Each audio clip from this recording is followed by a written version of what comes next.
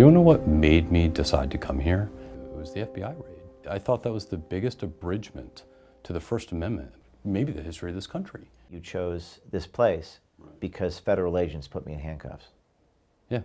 Very counterintuitive. Here's, here's an organization actually trying to tell the truth. In the first five days of working at this company, I had more conversations about ethical journalism than I did probably in the last 10 years of my career.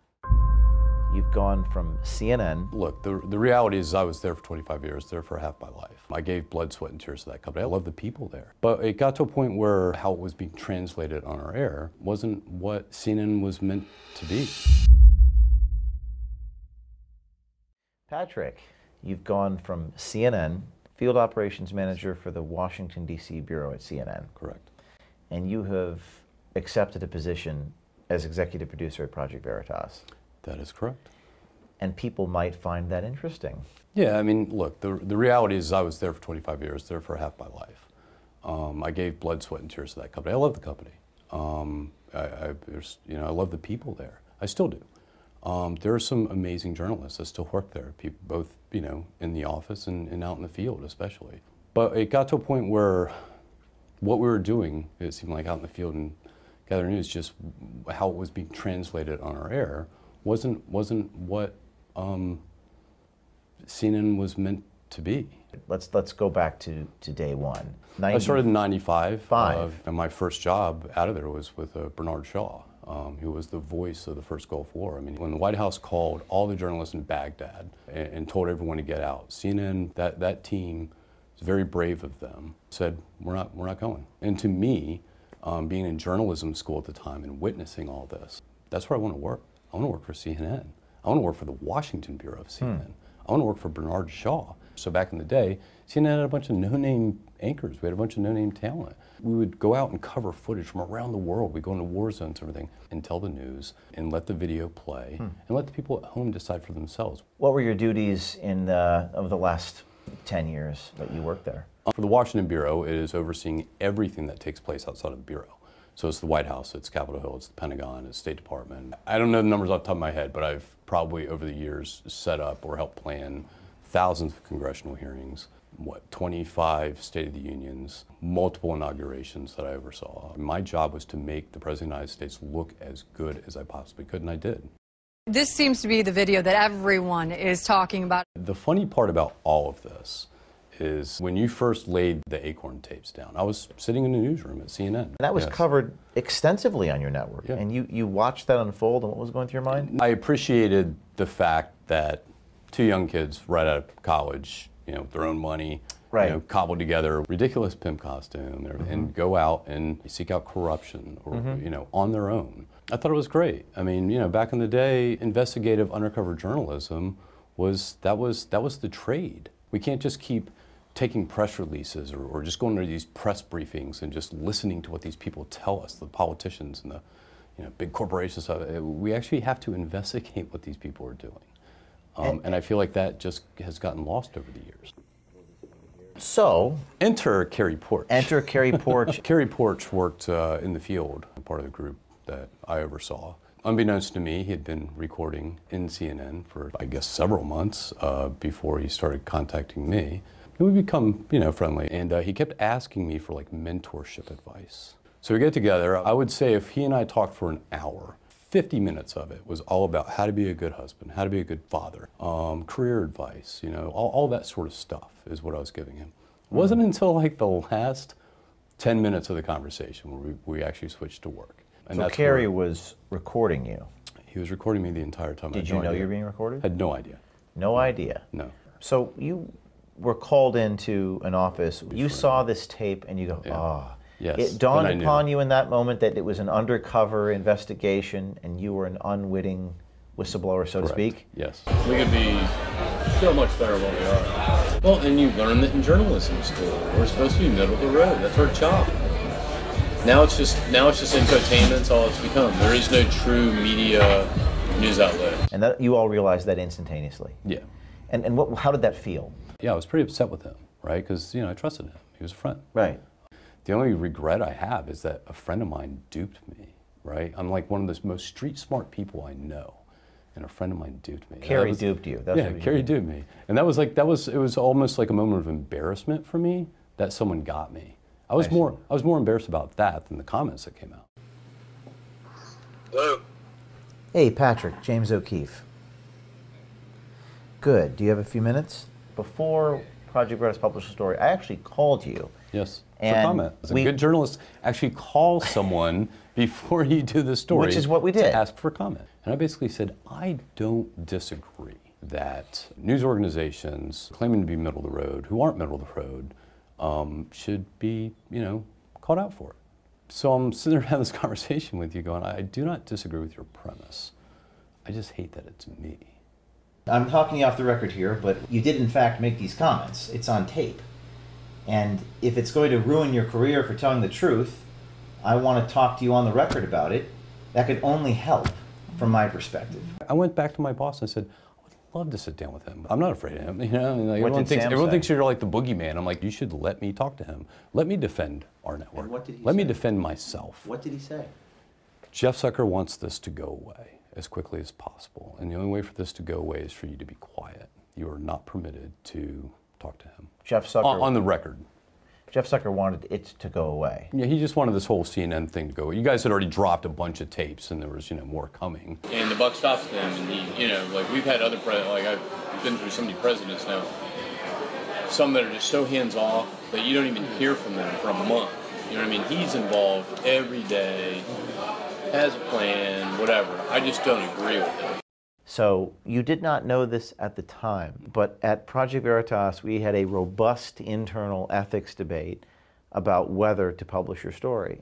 We used your case as an example of a, of a case study in ethics curriculum because you're not a villain. And most of the time, when we expose someone, you know, people are harmed. Sometimes good people. When I called him to ask for him for comment, he was picking his daughter up from school.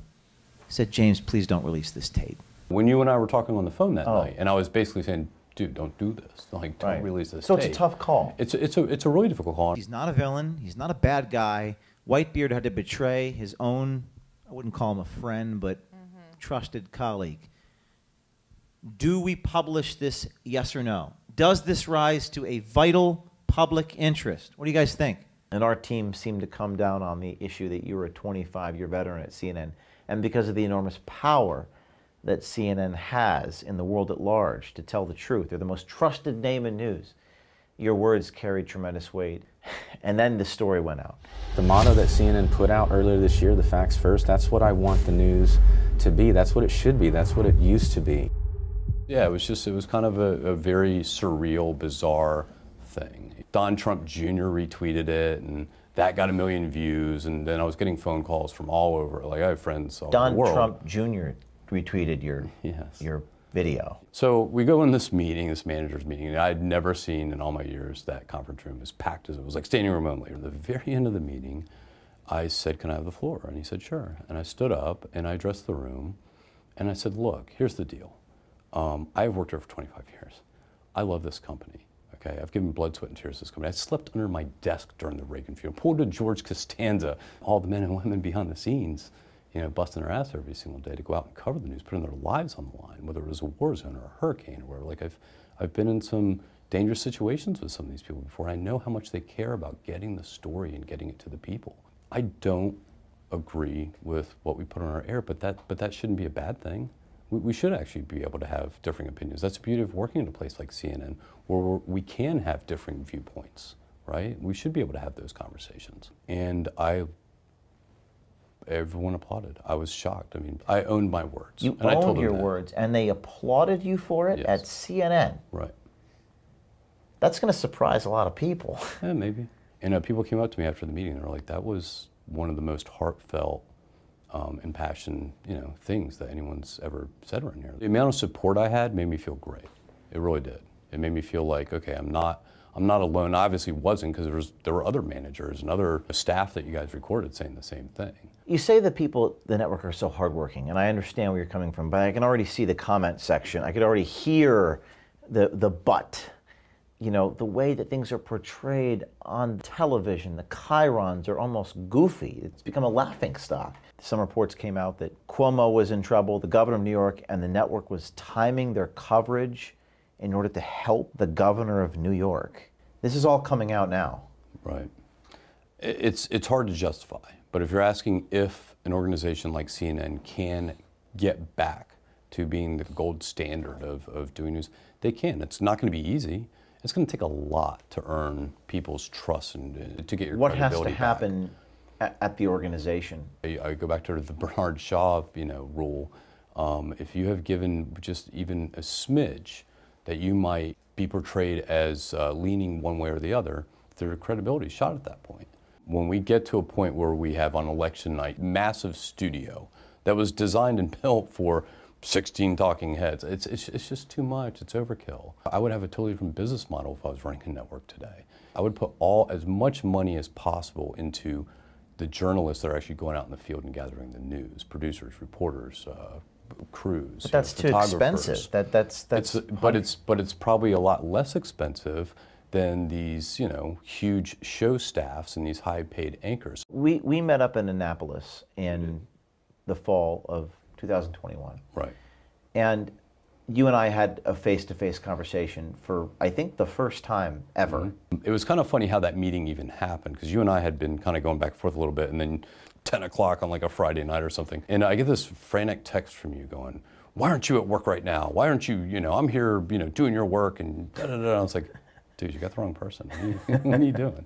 You know, and you're like, "Oh, sorry." And I'm like, "You know what? We should sit down and talk." It's been two years. You, you and I sat down uh, in an Irish pub in Annapolis for a few hours and talked about everything. It occurred to me in our meeting that, wow, this guy might make a good a good lead producer role for Project Veritas. We both assessed each other, and you came up to New York The New York Times reporting the FBI Saturday searched the home of James O'Keefe. Do you know what made me decide to come here? It was the FBI raid. I thought that was the biggest abridgment to the First Amendment, probably in maybe the history of this country, right? For the FBI to go blowing into the doors of uh, journalists, it was unheard of. They were raiding your home. you chose this place because federal agents put me in handcuffs. Yeah. That might seem counterintuitive to many people. I would imagine most people, after hearing about the raid, probably would run the other direction. So you chose to be an executive producer at an organization which got raided by the FBI because you were upset about it and, and uh, you thought it was a violation of the First Amendment. Correct. Very counterintuitive. Here's, here's an organization actually trying to tell the truth. In the first five days of working at this company, I had more conversations about ethical journalism than I did probably in the last 10 years of my career. Should we do this story? Should we not do this story? How should we go about this story? You know, this might harm this person. And we know journalism harms people, right? But sometimes there's a way to go about something. It, it just dawned on me, I was like, it was just so refreshing. It was a team of people you know, the, the amazing researchers and journalists actually work here. I mean, this is a young team, but they but they love journalism. They love getting to the bottom of things. Now I've offered you a full-time position at Project Veritas to be the executive producer after what I see as a qualified, capable, competent person who's gained the respect of people here. Um, and you've accepted that position, just so the world knows. Um, is objective journalism possible? Absolutely. It is. I think I think objective journalism is absolutely possible. How so? And we've proved it here many times. Um, we, What is objective journalism? It's it's being able to put your own personal beliefs and thoughts and ideas. So you can bring your life experiences to the table, especially as a journalist. But I, I've never uh, aligned myself with a party. I'm never. I don't think I'll ever register with a party, um, and I don't think journalists should. Um, I think our job is to try to stay as middle of the road as possible. You vote however you want, but when you're actually involved in a story with a candidate or a corporation or a drug company or whatever it may be, um, you have to put that journalist hat on. You have to put that wall up, and you have to set your personal politics aside. What do you hope to accomplish here? I hope to accomplish uh, us doing more, bigger, better stories, to get back into more investigative type journalism. This is the thing that I've learned in, in the months of being here. Everyone's, you know, very dedicated people, 100% buy-in, But the beauty of it is, is, is we can save a little girl one night or do like a, a Pentagon Papers one night. And 24 hours later, we're doing, you know, dry ramen noodles, you know, going after Rachel Maddow. What I'm doing right now is either brilliant or it's crazy or maybe it's a little Right. bit of both, right? Maybe it's a little bit of both. Yeah, it's pretty, it's pretty wild how it's all kind of come full circle.